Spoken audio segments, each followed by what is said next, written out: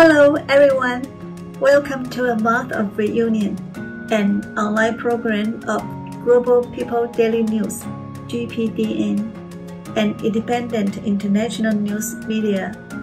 I am today's host, Judith. Before we begin, please subscribe, like, share, and activate the little bell.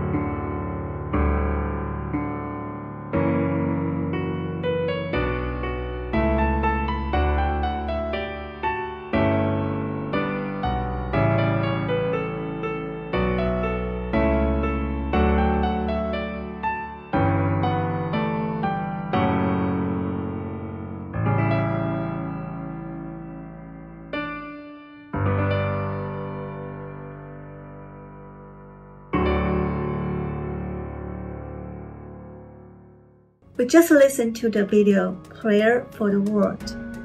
Recently, the highly transmittable variant Omicron quickly becomes a dominant strain of the coronavirus, having a significant impact on people's life and work.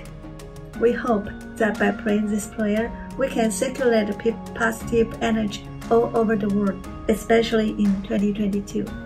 Family reunions are especially important during these difficult times around the world. Once a year, each region or nation has its own time for family gatherings. Christmas, Lunar New Year, Muharram, and other holidays bring families together. On these days, family members scattered across the country will rush home to be reunited particularly the elderly one who are looking forward to it. Our first speaker will be Danielle, a 75 years old Swiss grandmother. She is to share her family's about her Christmas reunion.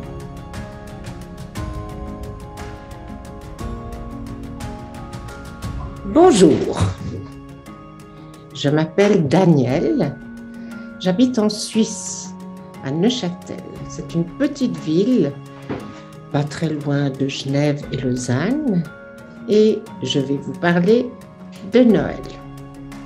Avant encore, je vais vous dire que je suis une grand-maman, j'ai 75 ans et j'ai 9 petits-enfants. Les aînés ont 15 ans et puis la plus jeune a 4 ans. Noël, qu'est-ce que c'est? Alors ça peut être beaucoup de choses. Ça peut être une fête religieuse, ça peut être l'occasion de rencontrer du monde, de rencontrer en famille ses enfants et ses petits-enfants. Pour moi, c'est avant tout la rencontre des enfants qui me fait vibrer pour Noël. J'aime beaucoup cette fête et j'ai beaucoup de chance, justement parce que je ne suis pas seule. Généralement, on se rencontre pour un repas, pour allumer le sapin et puis pour partager, pour jouer, pour, euh, être ensemble, tout simplement. Cette année, Noël a eu lieu chez moi. Nous étions, je pense, 18. Et nous avons partagé le repas. Chacun, c'est-à-dire mes enfants, mes belles-filles, ont préparé quelque chose. Moi aussi. Ensuite, il y a eu le moment sapin.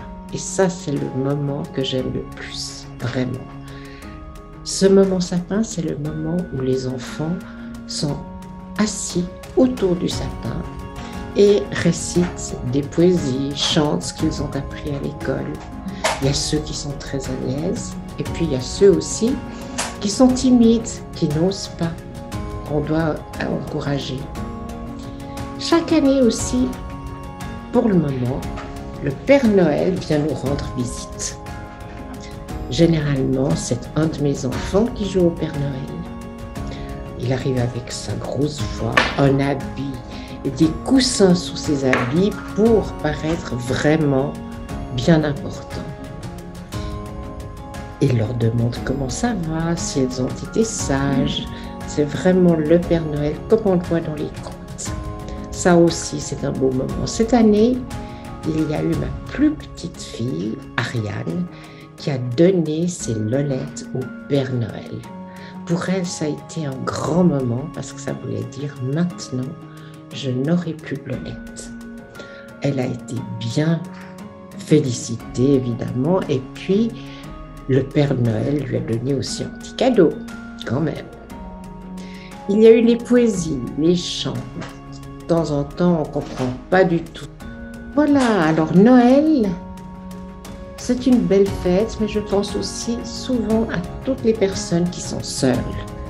Seules chez elles, ou bien qui n'ont pas de famille, ou qui ont perdu leur mari, un membre de leur famille, ou les personnes qui, n'ont pas d'argent et qui, sont là, qui attendent finalement que les fêtes passent. Et pour ces personnes-là, euh, il y a des Noëls collectifs qui s'appellent Noël autrement et qui les rassemblent justement ces jours-là, heureusement. Noël, c'est aussi la fête où on aimerait que tout le monde soit heureux, tout le monde soit bien et, et qui ouvre une perspective de paix, d'amour entre les gens et de bien-être de tout le monde. Et d'ailleurs, pour l'année prochaine, c'est mon souhait. C'est-à-dire que les gens vivent pour les autres et pas seulement repliés sur eux-mêmes. Que les gens s'écoutent davantage. Il me semble qu'avec le Covid, on n'écoute plus personne. On a envie de parler et puis l'écoute est très mauvaise. Alors je souhaiterais vraiment que chacun puisse écouter l'autre, même si l'autre a un autre avis. Et puis j'aimerais bien sûr que les personnes qui n'ont qui arrivent juste à vivre puissent le faire, puissent avoir davantage de moyens pour avoir une vie décente. Voilà, ce serait mes souhaits pour Noël. Wow, what a lovely and heartfelt reunion date. The entire family participates in the celebration of Christmas. The photos are touching and heartwarming. Thank you so much, Danielle, for your blessings. Sadly, fear of COVID has increased social isolation and individualism. As a result, we must listen to others, even if their opinions differ from ours. We can give more to those in need if we show more respect for others and bring more positive energy to them. I really love it. As an outcome of the epidemic, people's lives have been changed. It has made a significant difference at work and in school. Is this influencing your life as well? So, how do you handle surprises? Now, let's listen to Nigerian social worker Smith Nakosha sharing his life and experience as a result of the pandemic.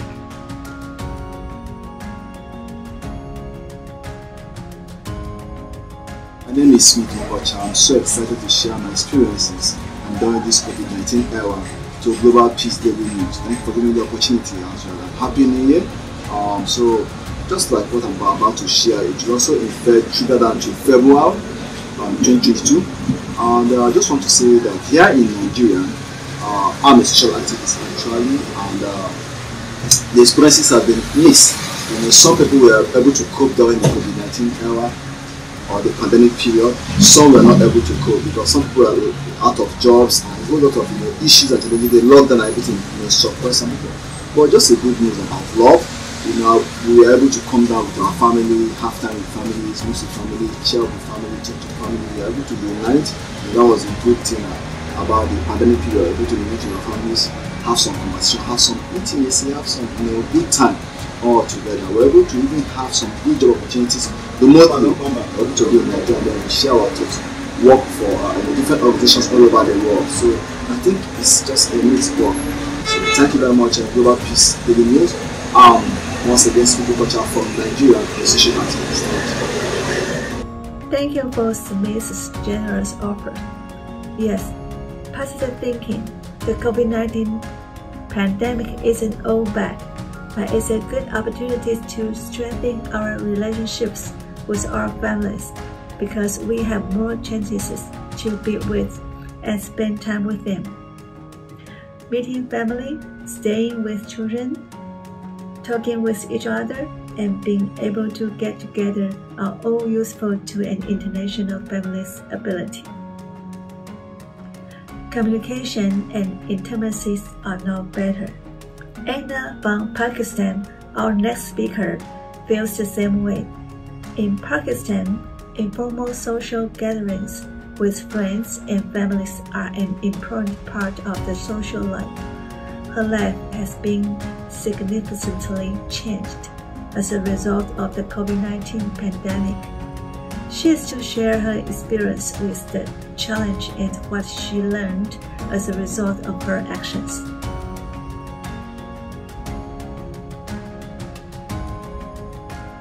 Bismillahirrahmanirrahim. I am Amina from Pakistan and uh, today I will discuss uh, uh, the social gathering during the pandemic and afterwards back physical socialization. Informal social gathering with friends and family is an important part of our social life. As we affected due to the COVID-19 plague, the squeeze uh, our facilities to safely meet with others. Many people were involuntary to stop or reschedule evacuations proceedings, such as reschedule marriages or to going to join it, or meetings or parties and family crowds.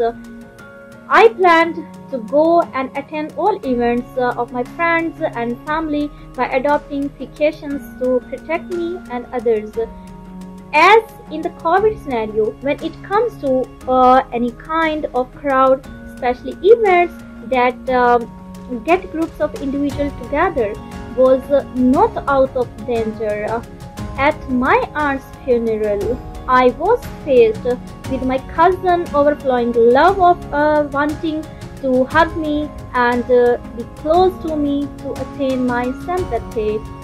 And no one realized how serious this pandemic is. Many times I did not uh, uh, decided whether I stay at home or if I choose uh, to attend these gatherings. This will be um, as I always follow the healthcare and social gathering rules issued by our government and health authorities. Many of my relatives and friends laugh at me while I adopt these measures as this was rural area and as in desert their already social and physical distance is lies. Their homes are far away, it takes time to reach even to them. They already were hosting in a vaporous windy space and uh, there was no such case found of COVID. Already small amount of people are resident here. and uh, I got bored and uh, planned to financial uh, affected people for sympathy. Some people did not take it too serious. They hugged me, kissed me, and put my veil off. They even give me a lesson on such kind of care adoption. I shared their uh, pandemic boundaries and financial crisis. I visited my friends and uh, my family members, and this pandemic bind us together. We did lunch together, dinner together, breakfast together. Then we moved to our relatives to support them and to together. We planned together to plantation in our area, in our school, as this was plantation drive already by our government in these days. I delivered some session on water conservation uh, in the rural areas and later on financial assistance and support. I teach them the skills to earn and how to survive these days and after. I manage my family members' birthdays as I did never before. Even some of my siblings' date of birth was not in my mind. So we visited other places together and we felt others' pain. We did prayers near the seas, landmarks, deserts, and enjoyed rain together. And special celebrations uh, uh, we celebrate. We stayed on um, bad days together. We planned together. We laughed together. And when there is unity no pain could gain or feel. So we haven't felt any pain. Although we did good and we were frightened while gatherings no doubt. Some conspiracies conspiracies were revolving about the COVID truth, and uh, yes, we feeling just uh, we was uh, feeling just all are going to die. The world is going to end, and yes, I realized the love of humanity in all, and I started virtual conferences and uh, often at someone's residence, and I gained a good amount of knowledge and public awareness as families have been affected for two years due to corona and now the winter is coming which is a sign that uh, withering away is coming to an end and the sense of life and hope is awakening. March is the month that the spring starts. This means a lot dead leaves land and stones uh, change into hope and life. We are always concerned about small holidays these days and especially we are in the year. People here want to do something important or new. They do it in this month like uh, getting married started a business and some other parties and works.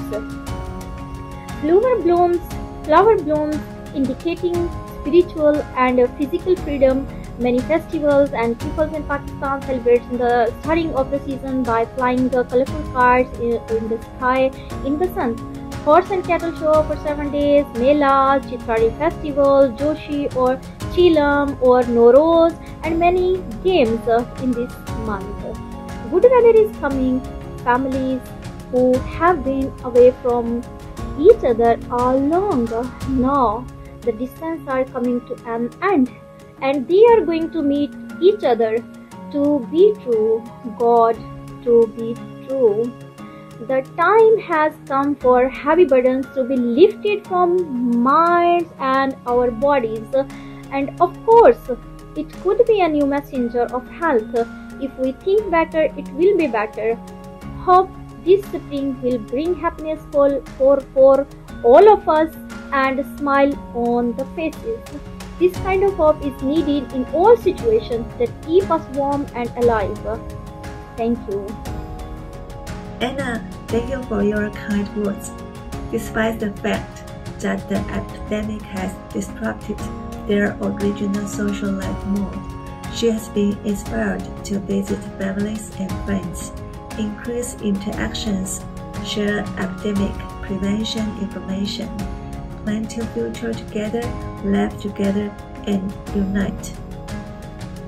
NW in Tom, in contrast to Emma, has a different point of view. she works as an MRI technician at Children's Hospital Los Angeles in California, USA. Her puts her at a much higher risk of the infection than the general public. How can she defend herself while also protecting others in the hospital in the face, face to the escalating Omicron epidemic? What about her family? Let's listen to what she had to say.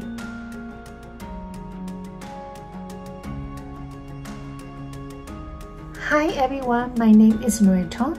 Almost three years of pandemic. Does pandemic people close together or far apart? I will say that close together.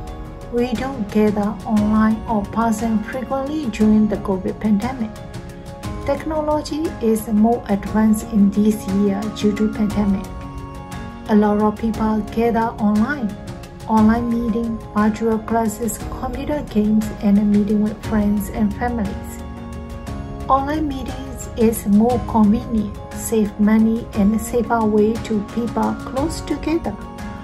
By online gathering, we can meet anytime, anywhere, and any different country.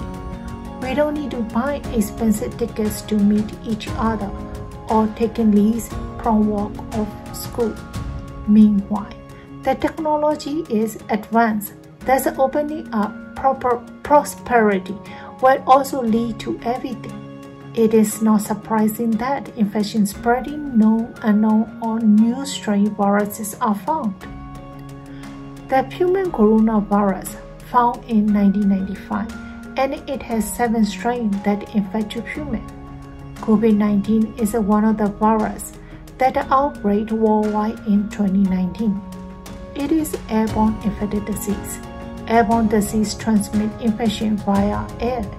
According to Head Harvard Education, the coronavirus spread mainly from person to person. A person infected with coronavirus, even one with no symptoms, they can emit aerosols when they talk or breathe. Aerosols are infectious viral particles that can float or drive around in the air for up to three hours. Another person can breathe in this aerosol and become infected with the coronavirus. Whatever and how the virus is spread, we as a human need to protect ourselves and our loved ones. We have to cut the chain of infective process. How? We need to follow the rules and regulations of prevention of infection. CDCs and all health organizations recommend everyone needs to wear face masks, frequent washing hands, social distance, and get vaccinated, and so on. Most of people think I am already fully vaccinated. I cannot get infected. That's wrong. Vaccine does not protect us 100% and it's just cutting part of the change of infected process. So we need to follow the sign, no touch policy. Be patient, wait for next walk. Don't use finger, use elbow. If you touch those, don't touch your face, nose, eyes before you wash your hands. Don't just wet your hands, wash your hands. Properly wearing face masks. Sum up, we should follow useful tips to stop the spread of infection. Wash your hands frequently, wear face masks, practice social distancing, stay positive avoid touching eyes, nose, and mouth, and increase your lung capacity with breathing exercise. And very important is watching your symptoms before and after personally meet with others or gathering. Headache, cold, cough, loss of taste, tired, muscle ache, and cold-like symptoms. If you have symptoms, get the test, take a rest, hydrate your body, and self-quarantine. As a medical worker, I am one of the high risk to get infected. I do follow all. Follow all. Moreover, I do practice Tai Chi and Qigong every day. That strengthens my immune system. By practicing Qigong, it can increase our lung capacity, slow breath, and movement that more focus on our body and mind, calm and get energy. Many scientists prove benefit of practicing Qigong. Qigong has the potential to play a role in prevention, treatment, and rehabilitation of respiratory infections such as COVID-19. We cannot be stay home forever to avoid infected. We have to go out and do what we need to do for survival. Prevention is important that cut the change of infectious process. I thank that advanced technology that people close together in pandemic and appreciate to all scientists, healthcare workers, all friends and families. We all follow the rules, science, and professional recommendations. By doing those, COVID and infections won't beat us. Sure, we can fight and against the pandemic. I wish you all safe and happy. Thank you for your sharing. Yes, the popularizations and easy use of the technologies allow us to stay in touch with our families while keeping a safe distance during the epidemic. Vaccinations also give us immunity to fight the virus, but it is important to know that vaccines do not provide complete protection because it only interrupts a portion of the infection chain. Precautions are even more important. The video below enables everyone to face the never-ending battles against epidemics by providing three don'ts, five do's, and six tricks. Let us defend our families in the hope that all of the, our friends are safe and well. As the COVID 19 pandemic continues, we need to take preventative measures to stop the spread. Here are the five do's and three don'ts, as well as the six tips to help you stay safe and healthy. The five do's are wash your hands, drink more warm water, do more exercise, be happy, and be more careful. The three don'ts are don't lose your temper, don't worry, and don't be anxious. The other six tips are wash your hands frequently, wear a face mask, practice social distancing, stay mentally positive, avoid touching your eyes, nose, and mouth, and increase your lung capacity with breathing exercises. Make sure you follow these tips to keep yourself and others safe. Together, we can get through this.